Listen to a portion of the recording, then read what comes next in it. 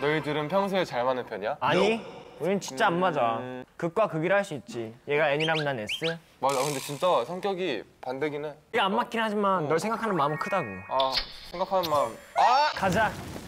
달걀 반숙 대 달걀 완숙. 하나 둘 셋. 달걀 반숙. 반숙. 해. 하나 둘 셋. 받아. 이런 일자를 둘다 없었던 거야. 하나, 둘, 셋. 무다. 야 되게 잘 맞는다. 너네 다 맞았어. 진짜 안 맞긴 한데 좀 기분이 좋다. 아니 아니 지금 맞는 거 잘 맞는 거지. 그래, 아, 그러니까 우리 하나 둘 셋. 영월라. 와 너네 진짜 찰떡궁합이다.